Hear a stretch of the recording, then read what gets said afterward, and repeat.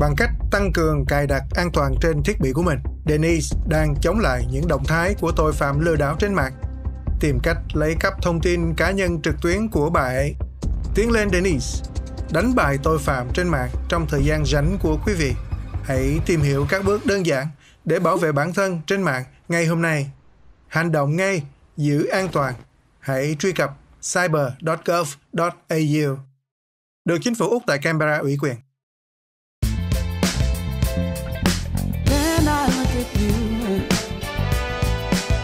And I know it's gonna be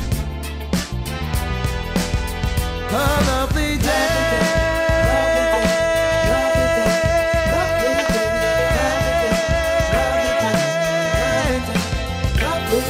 Đồng bào Úc, chúng ta sắp đạt đến rồi. Hãy đặt cuộc hẹn chích vaccine của bạn tại trang mạng australia.gov.au, được chính phủ Úc tại Canberra ủy quyền.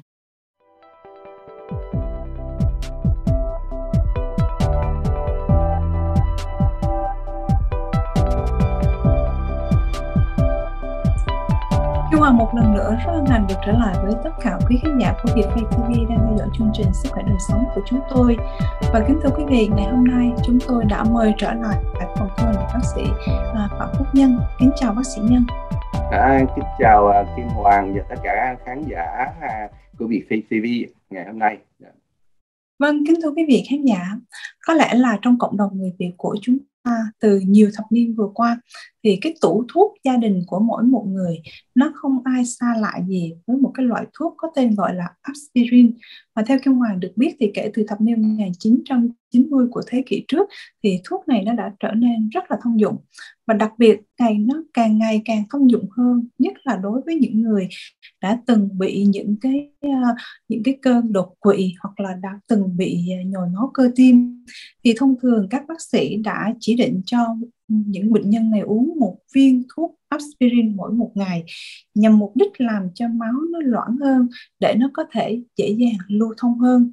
Tuy nhiên, trong những ngày vừa qua thì một ủy ban đặc trị của Hoa Kỳ đã làm một cái cuộc nghiên cứu rất là sâu rộng để mà phân tích về cái lợi cũng như cái hại khi mà chúng ta uống thuốc aspirin này mỗi một ngày và với một cái phạm vi một cái kiến thức hạn hẹp thì kim hoàng không thể giải thích được vì sao chúng ta nên uống hoặc là trong trường hợp nào chúng ta không nên uống thuốc aspirin mỗi ngày câu hỏi đó và những cái sự cố vấn đó thì kim hoàng sẽ xin nhường lại cho bác sĩ phạm phúc nhân ngày hôm nay và thưa bác sĩ nhân à, trước khi chúng ta đi vào chi tiết đó thì bác sĩ nhân có thể sơ khởi cho quý khán giả được biết là cái công dụng của aspirin mà chúng ta uống mỗi một ngày hay không ạ à? À, cảm ơn uh, Kim Hoàng và tất cả quý vị uh, theo dõi việc, việc Face TV. À, trước khi trả lời câu hỏi này thì uh, hơi dài dòng một xíu là à, mình phải uh, cái viên aspirin đó như Kim Hoàng đã nói cách đây khoảng chừng uh, 100 năm thì người ta đã có phát hiện được cái cái cái viên này do cái hãng Bayer à, nói là nó nó điều trị cái liều bình thường đó tức là 500 mg 350 mg liều cao á, thì nó điều trị được cái giảm đau nè giảm viêm và đau khớp. Đó. Và sốt đó là những cái kết ờ, đó nhưng mà từ năm 1970 thì có một cái phát hiện rất là độc đáo của nhà các nhà khoa học. Nên là cái tình cờ thôi. Thì uh, có lẽ là uh, ơn trên tức là thượng đế hay là ơn trên đã cho đ- biết được cái viên aspirin này là một thần dược.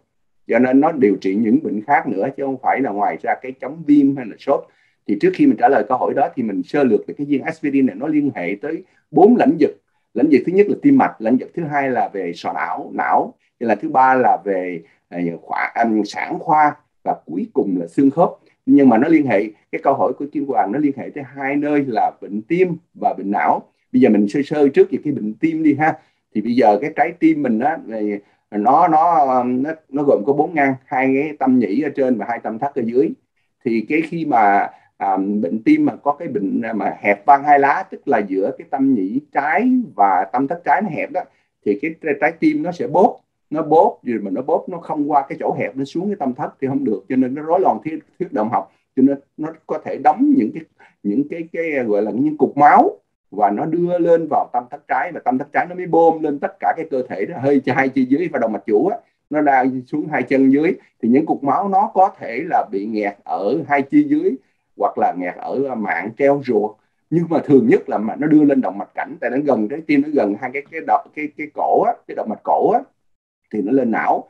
Thì những cái viên đó nó viên máu đông đó từ cái cái bệnh đó cái bệnh đó gọi là à, rung nhĩ tức là cái nhĩ nó nó nó bóp mạnh nó ba bốn trăm lần phút nhưng mà tâm thất nó không bóp cho nên thành ra là nó bị rối loạn cái cục máu nó lên tới não. Thì khi mà lên tới não nó thì đóng lại nó đóng lại nó nghẹt não nghẹt não thì bệnh nhân khi mà nó nghẹt vậy thì túi máu không được, ở não nó gọi là stroke. Thì cái đó stroke, cái dạng đó là cái cái viên, cái cái cục máu nó bị nghẹt. Nhưng mà có cái dạng thứ hai nữa là stroke nữa là nó gọi là khi mà mình, cholesterol trong cơ thể nhiều quá đó, nó động vô cái động mạch. Cái động mạch động mạch nó có ba lớp. Một cái lớp ngoài là cái lớp mô liên kết, lớp lớp giữa đó là cái lớp của cơ và lớp công là trong là niêm mạc. Nếu mà cholesterol nhiều quá hoặc nó trầy đó thì nó sẽ bị động trên cái lớp niêm mạc trong đó. Thì động niêm mạc trong như vậy thì nó sẽ làm hẹp cái động mạch cổ cũng như là nó hẹp cái động mạch vành tất cả các động mạch hết thì nó sẽ à, đi đến tình trạng là có cục máu đông cũng có cục máu đông tức là nó hẹp và nó bán hẹp thì nó cũng gây stroke nó gọi là stroke do cái cục máu đông của tại chỗ thành mạch. Đó là hai dạng. Cái dạng à, thứ ba nữa là do cái cái um, à, bệnh của của cái động mạch cổ mà nó hơi hẹp nhưng mà nó gọi là mini stroke. Mini stroke tức là nó nó bị thoáng qua theo tiếng tiếng Anh nó gọi là um, transition mà um, attack đó um, um, um, carotid attack tức là nó nó ti ti TAG uh, à, um, thì nó làm cho cái cái trường hợp đó là uh, nó nó bị um, bị attack mà thoáng qua thôi thì bệnh nhân không phải là bị stroke nặng tức là không có uh, bị yếu người không có bị mê không có bị nhức đầu nhiều à, không có bị méo mặt và khó nuốt nhưng mà nó hơi nhẹ nhẹ thôi thì cái đó là một báo hiệu của cái à, cái cái mà à, TIA tức là đúng xin lỗi TIA là transition uh, ischemic attack ở thường nó ở động mạch cổ mà có thể là chúng ta có thể nghe được bằng cách là để cái cái người bác sĩ có thể đen để lấy cái cái ống nghe đó để nghe cái ống cổ nè cổ này nghe thì nghe tiếng thổi tức là cho cái động mạch cổ nó hẹp lại thì cái đó nó gọi là T um, TIA tức là đó. Thì đó là do cái hẹp, cái bán hẹp nó gọi là mini stroke còn cái dạng thứ thứ thứ tư nữa là lúc đó là cái thành mạch của nó có ba lớp thành mạch. Là ở ngoài có mô liên kết phía giữa là cơ trơn, ở trong là niêm mạc. Mà lúc đó là cái cơ trơn nó yếu á, thì nó thành ra, nó nú phình ra cái cái động mạch cổ hay là động mạch chủ hay các cái động mạch nó phình ra, tại vì nó không có lớp cơ ở giữa, lớp giữa nó yếu đi. Nó gọi là aneurysm, tức là túi phình động mạch thì lúc đó nếu mà cái cơ nếu mà mạch máu mà nó thổi mạnh quá thì cái túi nó nó bể lên nó bể trên não á thì nó gây ra cái cái tình trạng xuất huyết não. Thì nó cũng gây là stroke. Nhưng cái trường hợp đó rất là nhanh. Nó không phải như, như những cái mà cục máu đông những cái mà hẹp cái động mạch hoặc là nó bán hẹp cái động mạch. Thì nó có bốn cái trường hợp như vậy. Thì bây giờ á người ta sẽ điều trị as, à, cái viên aspirin người ta thành nhận thấy rằng với cái liều mà thấp á, như nãy là đề cập lại aspirin mà liều thấp tức là khoảng từ 81 mg mà cho tới 300 mg á thì nó sẽ à, điều trị được nó làm tan cái cục máu đông nó làm ức chế cái tiểu cầu. Bởi vì tiểu cầu nó có thrombosen nó chất thrombosen khi mà cái thành mạch mà bị à, chướng ngại hoặc là cái cholesterol nó đóng thì nó cái cái niêm mạc đó nó làm cho tiểu cầu nó nó nó tụ lại nó tụ lại nó thành cái cục máu đông. Thì cái aspirin nó sẽ làm tan cái máu đông nó đi cả cái động mạch cảnh cả mạch máu não và cả cái động mạch vành tim nữa. Đó cho nên cái kết quả đó là là do cái cái uh, qua cái anatomy những cái hình ảnh đó. Uh, và còn kết quả của đó thì là aspirin nó sẽ có tác dụng tốt trong cái trường hợp nào? Trong cái trường hợp là bệnh nhân bị à, có bị nghẹt cái động mạch hoặc cái cụm máu đông. Nhưng mà nó rất nguy hiểm trong cái trường hợp là bệnh nhân bị stroke mà do cái bể mạch máu tại bể mạch máu tức là máu nó như cái cái à, cái ống nước mà nó chảy nó bị bể vậy đó thì mình nếu mà dùng cho aspirin nữa là càng nguy hiểm. Cho nên thành ra đối với bệnh nhân cái viên aspirin nó rất là hay trong cái trường hợp cấp cứu á, mà trên xe cấp cứu người ta dùng liều liều thấp thì là 100 mg hoặc 300 mg ta uống khi mà đau ngực. Nhưng mà khi mà bị stroke trên đầu thì không ai dám dùng hết. Tại vì nó có hai trường hợp. Trường hợp là cục máu đông trường hợp là thrombosis hoặc là chảy máu bị bể như vậy mình lúc đó mình khám mặc dầu bị bể là cái triệu chứng lâm sàng có thể phân biệt được cái à, bị cái embolism tức là bị cục máu đông à, cục máu đông nó chậm từ từ thôi nhưng mà cái kia nó nhanh lắm nó khoảng chừng năm 10 phút là nó bể. Như vậy thì mình không dám cho bởi vì nó còn không dao hai lưỡi. Nếu mà mình cho mà trong cái mà bị stroke á mà bệnh nhân hôn mê hay là bệnh nhân nhức đầu á mà mình cho trong cái bể cái mạch máu thì máu nó càng chảy ra nhiều và tăng áp lực nội sọ thì bệnh nhân chết rất nhanh. Cho nên thành đó người ta rất cẩn thận khi vào bệnh viện người ta mới dám cho. Sau khi chụp CT scan não người ta mới dám cho cái cái aspirin. Đó thì đó là cái đó là chúng ta đang nói chúng ta đang nói những cái trường hợp mà đã xuất hiện cái triệu chứng stroke và cái người mà đưa ra cái quyết định thì không phải là những người làm việc trên xe cứu thương mà cần phải vô tới và chỗ cấp cứu thì các bác sĩ mới chỉ định là có sử dụng thuốc aspirin hay không. Ngay cả chuyên gia các chuyên viên y tế làm việc trên xe cứu thương cũng không đủ khả năng để mà à, đưa ra cái à, phương thức điều trị.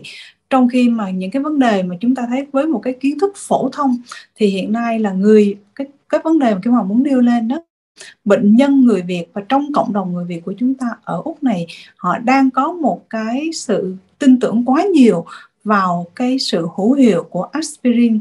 Và nhiều cái quan niệm cho rằng uống một viên aspirin mỗi ngày nó là vô hại, mà nó chỉ có tác dụng là ngăn ngừa những cái tình trạng bị ờ, đột quỵ hoặc là À, bị nhồi máu cơ tim mà thôi. Và vì vậy, trong cái tiềm thức của mỗi một người, thưa bác sĩ, họ không phân biệt được là lúc nào nên uống hoặc lúc nào không nên uống. Bởi vì khi mà chúng ta đã bị nặng rồi thì vấn đề chỉ định sử dụng thuốc là do trách nhiệm của các bác sĩ. Nhưng mà tại nhà, mỗi một ngày, mỗi một người, họ vẫn thường xuyên uống một viên aspirin.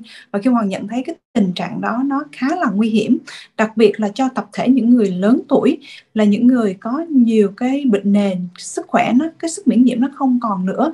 Và nếu mà cái duy trì cái thói quen như thế này thì chắc chắn là có khi mà xảy ra những cái việc uh, sốt xuất huyết não như bác sĩ vừa mới nói thì đó sẽ là một cái tình huống vô cùng nghiêm trọng. Như vậy thì để làm sao để chúng ta có thể ngăn ngừa hoặc là chúng ta có thể đưa ra một cái lời cảnh báo trong những cái trường hợp nào nên uống và những trường hợp nào là không nên uống thưa bác sĩ. À, cảm ơn Chuyên hòa Thì à, cái câu hỏi này phải công nhận là rất là thực tế à, mà nó cũng có do một cái thời gian rất là lâu. À, à, cách đây khoảng chừng hai chục năm thì bên Hoa Kỳ đó thì người ta có phổ biến cho cái dưỡng về uống aspirin à, để mà trị nhiều chuyện lắm à, thứ nhất là người ta nói là trị cho cái ung thư à, đại tràng nó nó nó giảm xuống và đồng thời nữa nó ngăn cái vấn đề mà bị à, tim bị um, tim tức là nhồi máu cơ tim cũng như là bị stroke.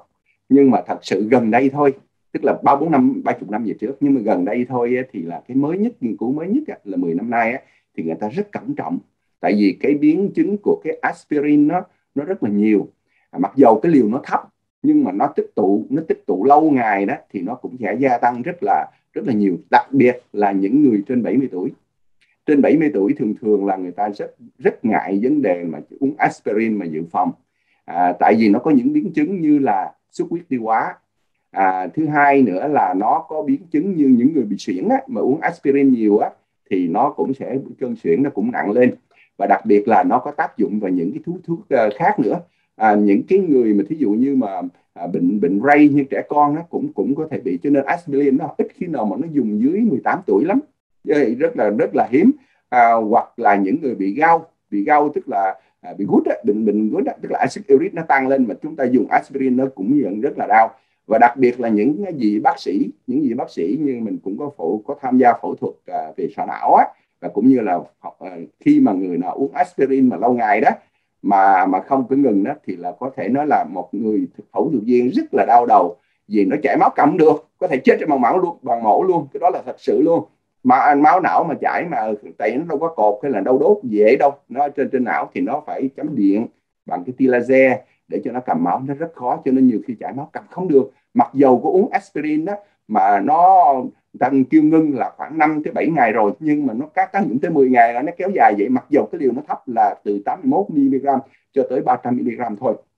Cho nên hiện nay người ta đã chỉ định của cái aspirin dùng rất là chặt chẽ là chặt chẽ là như thế này. Là tất cả hầu như người trên 70 tuổi là không có không có điều trị về à, dùng viên aspirin cho phòng ngừa cho heart attack à, hoặc là bị bị bị bị bị stroke hay là bị hẹp động mạch vành. À, cả những cái người mà à, bị, bị chưa biết cái triệu chứng của họ như gì. Mặc dầu là họ có cao huyết áp có bị tiểu đường có bị um, cholesterol cao cũng không có được điều trị aspirin. Đó. Những người trẻ riêng những người trẻ mà khoảng chừng à, 40 cho tới à, 69 tuổi thì người ta nó phải có phải có đầu tiên là phải có AF chứng minh là bệnh nhân có atrial fibrillation tức là tế động tâm nhĩ đó tức là loạn nhĩ mà nãy giờ mình trình bày có cái cái bệnh sử rồi đó. Tức là có học máu đông rồi hoặc là có TIA tức là ờ, cái bệnh mà bán ờ, bán stroke đó. Tức là có bệnh nhân bị bị collapse rồi bệnh nhân bị mờ mắt rồi khó nuốt rồi những cái đó. Hoặc mà chứng minh ở trên cái ultrasound tức là ờ, khám rồi ultrasound. Hoặc là người ta đã chứng minh được ở trên stroke ở trên não tức là nhồi máu não. Tức nhồi máu não là do các embolus á, đã có một trường hợp đã có bị rồi đã bị rồi. Về cái đó hoặc đặt cộng thêm những cái bệnh nhân mà có ba cái là tiểu đường rồi cao huyết áp rồi cholesterol cao rồi rồi to nghĩa là overweight đó. Và ờ, hút thuốc uống rượu hay như vậy đó là những cái cái đó là người ta phải có cái cái, cái bệnh sử rồi thì mới khuyên là dùng aspirin aspirin. Tại vì aspirin đó mà liều thấp thôi nha tức là liều à, 80 mg cho tới 100 hay à, dưới dưới 300 mg chứ người ta không có có có khuyên là phòng ngừa. Là bởi vì phòng ngừa thì nó có nhiều biến chứng như là đã trình bày ở trên đó là kiên hoàng. Cho nên quý vị cũng cẩn trọng nếu mà quý vị à, cần phải đến à, cardiologist cardiologist để mà bàn luận cái này thì mình mình mình nghĩ rằng là tất cả các bác sĩ về về tim mạch thì biết rằng đến cái này, chứ chúng ta cũng không nên mà dự trữ một cái thuốc aspirin ở nhà uống. Bởi vì bây giờ aspirin nó rất là thông dụng ở ngoài tiệm thuốc tây. Tức là nó rất là thông dụng. Ngoài ra nó còn những cái chất thuốc khác như là cạc chia đó. Cạc chia cũng là aspirin mà nó bị bọc nó được bao bọc, nó được bao bọc bằng cái vỏ rồi. Cho nên khi cái thuốc đó mình đừng có nhai, uống xong rồi để nó tránh cái, lấy cái gì đó uống nó nuốt luôn, để nó qua cái tế ruột nó nó nó mới tác dụng. Cho nên nó không có bị đau. Những cái thuốc mà nó an toàn cho bao tử thì người ta còn uống càng nhiều nữa. Nó không bị sót dạ đó. Cho nên thành thành thành ra là cái đó là cái cái cái để ý đó là ạ? Vâng, đó là những cái thông điệp mà Kim Hoàng nghĩ là nó khá là quan trọng là bác sĩ cũng vừa mới giải thích một lần nữa cũng như là tất cả các chuyên gia y tế hàng đầu tại Hoa Kỳ cũng đã đưa ra một kết luận. Và một cái vị giáo sư tại Viện học Monash ở Melbourne là giáo sư Stephen Nichol cũng đã khuyến khích chúng ta là tất cả những ai đã từng bị stroke hoặc là đã từng bị uh, đột quỵ, bị nhồi máu cơ tim mà có sự chỉ định của bác sĩ thì hãy nên sử dụng một viên aspirin một ngày và cũng ở một cái liều lượng thấp thôi. Và cái chỉ định này trong những cái bản tin mà Kim Hoàng có là chỉ là không phải là đến 300 mg à, mà chỉ là ở mức là khoảng 100 mg thôi. Trong khi những trường hợp nào mà chúng ta nghĩ rằng chúng ta uống để ngăn ngừa bệnh tật thì phải ngay lập tức stop ngay, có nghĩa là phải phải dừng lại và không thể nào tiếp tục sử dụng aspirin được nữa. Bởi vì bác sĩ vừa mới nói là nếu những người nào sử dụng mỗi một ngày cho dù là ngừng uống thuốc trong thời gian 5 ngày 7 ngày một tuần lễ thì cái máu trong cơ thể mình nó vẫn rất là loãng và nó vẫn có vẫn có thể bị xuất xuất huyết máu một, một cách rất là dễ dàng phải không ạ? Do đó mà chúng ta đừng có lạm dụng và chúng ta cũng đừng nghĩ rằng nó là một thần dược giống như là à, nhiều chục năm trước đây. Bởi vì thuốc nào nó cũng có những cái mặt tích cực và nó cũng có những cái mặt tiêu cực của nó. Nếu mà chúng ta hiểu được và chúng ta sử dụng đúng mục đích thì chắc chắn đó là những cái việc uh, hữu ích hoặc là những cái mặt tích cực mà thuốc sẽ đem đến cho sức khỏe của chúng ta. Nhưng mà nếu mà chúng ta còn chưa có rõ ràng thì nên lấy cố vấn từ các bác sĩ gia đình để mà chúng ta hiểu rõ hơn một cái viên thuốc đơn giản như vậy. Nó sẽ có những cái nguy cơ gì trong tương lai. Thì nếu, nếu mà chúng ta nối về vấn đề đông máu. Thì nhân cơ hội này thì chắc là bác sĩ cũng có thể giải thích thêm một lần nữa. Bởi vì trước đây đó, người Việt của chúng ta nói riêng hoặc là cộng đồng người Úc nói chung khá là lo lắng về cái tình trạng đông máu sau khi sử dụng vaccine AstraZeneca. Thì với những cái trường hợp mà phát hiện nhanh, chúng ta thấy những cái biểu hiện giống như tay chân bị sưng mà chúng ta phát hiện liền thì nếu mà uh, xử lý ngay uống một loại thuốc để mà làm cho máu loãng đi thì chúng ta sẽ không có những cái triệu chứng nguy hiểm nữa phải không bác sĩ? Và một trong những cái loại thuốc đó có phải là aspirin hay không? À, bây giờ cái à, mà à, cái tiểu cầu cái cái đông máu của của AstraZeneca đó thì nó là do giảm tiểu cầu. Cái giảm tiểu cầu mà nó là cái chống chỉ định của heparin đó heparin không nên dùng. Thì bây giờ nếu mà thường thường mà nếu mà đông máu đông máu của giảm tiểu cầu á mà thường thường là nó DVT cái DVT tức là cái deep venous thrombosis hoặc là cái à, mạc treo ruột á hoặc là PE cái pulmonary embolism. Thì nó khác nó khác với cái cái cái điều trị của của aspirin.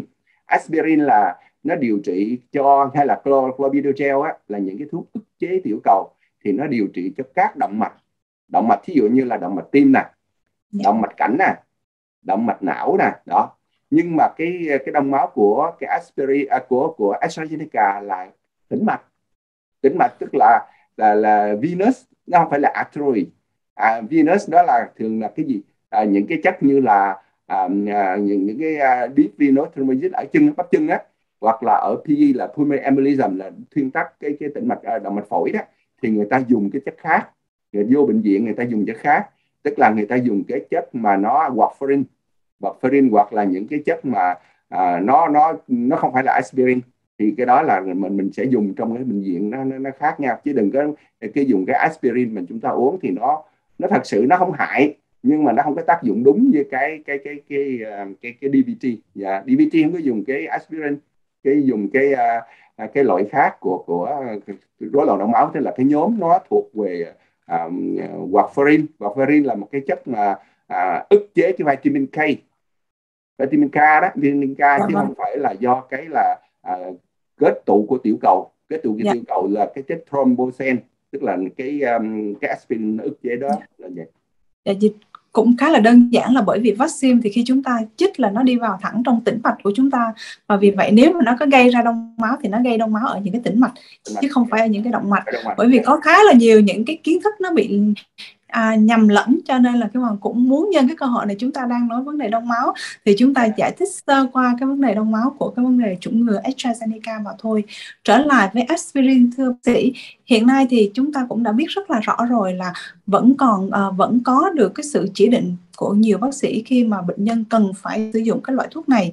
Nhưng mà trong những cái trường hợp một người bệnh nhân họ đã từng bị đột quỵ và họ cũng đã từng bị nhồi máu cơ tim được sử dụng được chỉ định phải uống thuốc aspirin thì họ nên uống trong bao lâu và hay là phải uống cả đời thưa bác sĩ? Dạ, um, cái uh, nó tùy theo cái trường hợp. Thí dụ như mà bệnh nhân mà cấp cứu á, cấp cứu về động mạch vành mà có mổ á, có mổ hay là stent hay là bypass gì đó thì người ta có thể dùng cái warfarin. Warfarin là cái chống máu đông máu vitamin K kết hợp kết hợp với aspirin và clopidogrel tức là Plavix hai cái chất đó là chống cái tiểu cầu thì nó dùng trong cái giai đoạn đầu. Sau đó đó sau đó thì nó sẽ bỏ ra từ từ. Thí dụ như bệnh nhân bị bị bị à, bị, bị à, nặng đó nặng thì nó dùng thế là 6 tháng. 6 tháng warfarin hay là uh, aspirin à, hay là uh, abisapen những cái chất đó. À, còn thí dụ như là thai van tim thay van tim thì thường thường người ta phải dùng warfarin và lâu dài hơn. Đó còn những cái như là chẳng hạn như là cái à, bị bị thrombosis chẳng hạn. Thrombosis mà cái hồi nãy mình nói là à, bị hẹp cái động mạch cảnh đó, hẹp động mạch não hoặc là hẹp cái à, à động mạch à, cái cái à, cái động mạch cổ nè thì người ta có dùng cái là aspirin rất là lâu dài. Đó, rất là lâu dài. Tức là có thể dùng suốt đời luôn cái aspirin hoặc là clopid hiện nay ta dùng aspirin với clopidogrel tức là cái Plavix nó phớt hồi phối hợp với nhau trong một thời gian ví dụ thời gian là 6 tháng tới một hai năm gì đó sau đó người ta thấy tốt rồi người ta dùng aspirin luôn có nghĩa là rất là lâu dài. Cho nên thành ra là um, có thể nếu mà người nào mà dùng à, thí dụ như là bị bệnh tim hay là bệnh về tai biến mạch máu não mà đã được chỉ định bác sĩ là dùng aspirin hay bác sĩ là à, về tim mạch hay cardiologist hay GP mà chỉ định aspirin hay là clopidogrel á thì chúng ta cũng không nên dừng thuốc đột ngột bởi vì với dùng thuốc đột ngột thì nó sẽ xảy ra cái tình trạng là à, à, nguy hiểm chảy máu trở nó nó có thể là đông máu trở lại cho nên thành ra phải dùng lâu.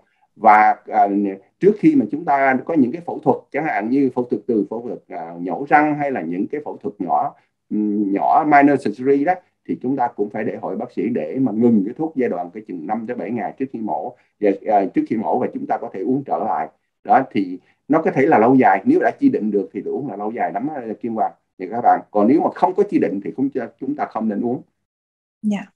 nhưng mà nếu mà chúng ta có chỉ định như bác sĩ vừa mới uh, tư vấn là trong những cái trường hợp chúng ta thực hiện những cái tiểu phẫu thì chúng ta vẫn phải tự ngưng dừng uống thuốc này trong một thời gian ít nhất là một tuần lễ trước yeah. Dạ. khi chúng ta thực hiện cái cuộc phẫu thuật đó nếu không thì nó cũng sẽ dẫn đến cái tình trạng rất là nguy hiểm phải không ạ?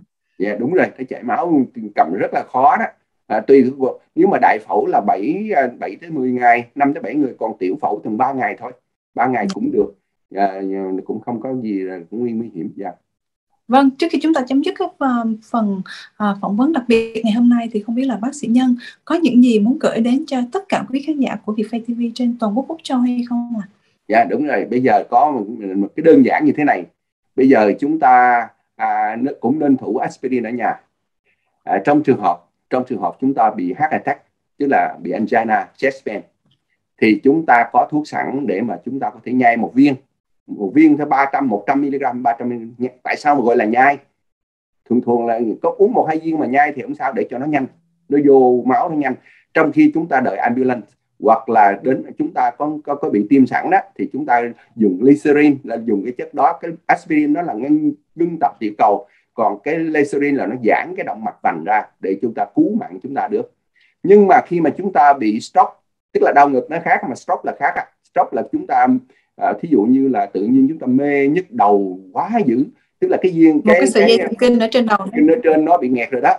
Bây giờ chúng ta không biết là chúng ta bị xuất huyết não bị bể cái mạch máu não hay là aneurysm á máu nó chảy hay là bị nghẹt thì chúng ta không nên uống aspirin bởi vì khi ra mà chúng ta uống aspirin như vậy thì nó cái máu mà nó nó nghẹt thì nó may mắn nó 85 phần trăm. Còn 15 phần trăm nó có thể là bị bị bị bị bể mạch máu nó chảy máu trong não hoặc dưới màng cứng hoặc là à, dưới màng nhện đó.